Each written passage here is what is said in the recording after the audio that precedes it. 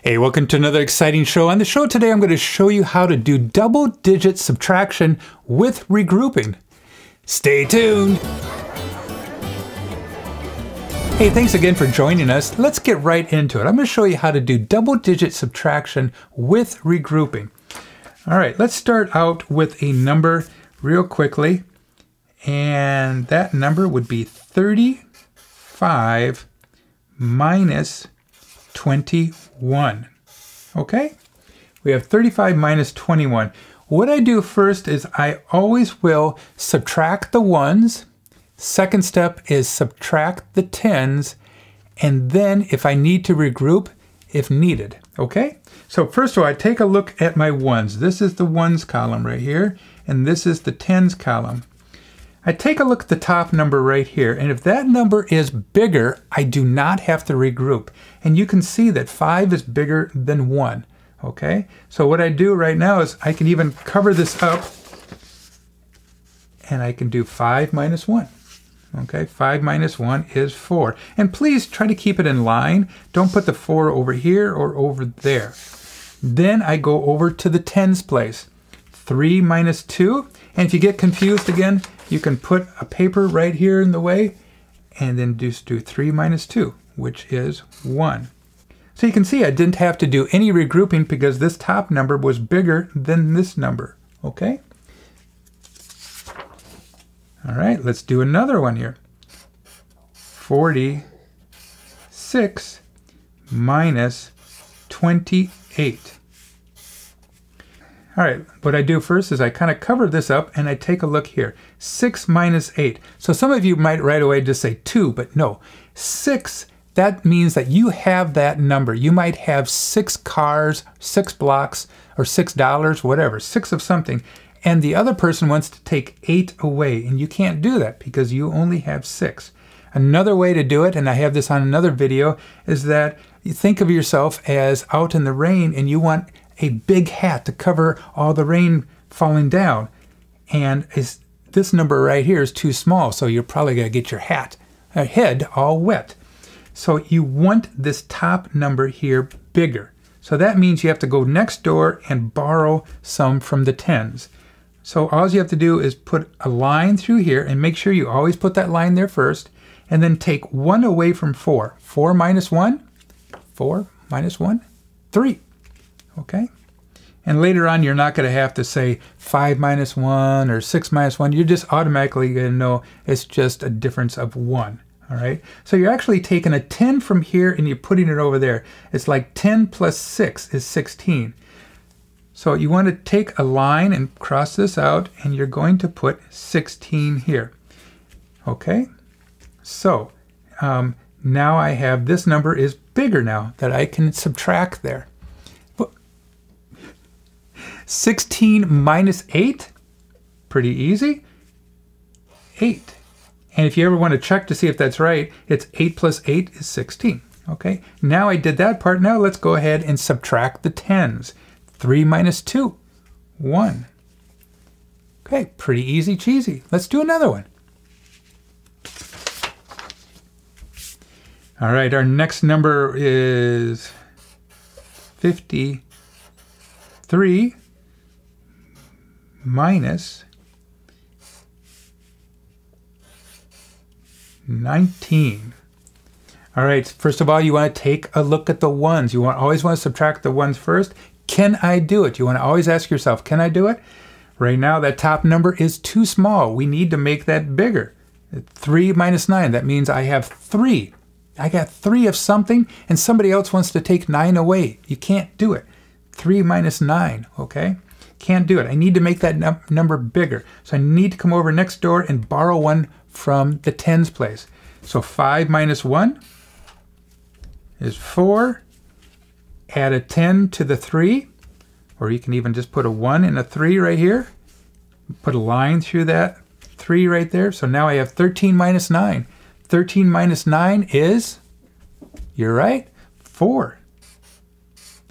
4 minus 1 Yep, somebody over there said it. All right, three.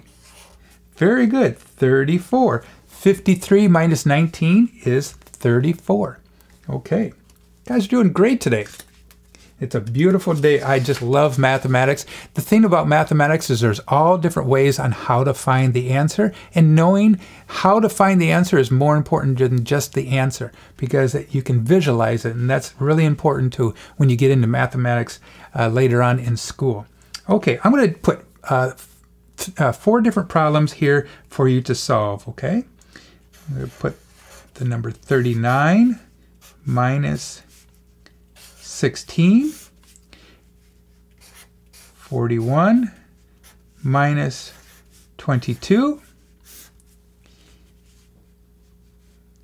46 minus 25, and 65 minus 28.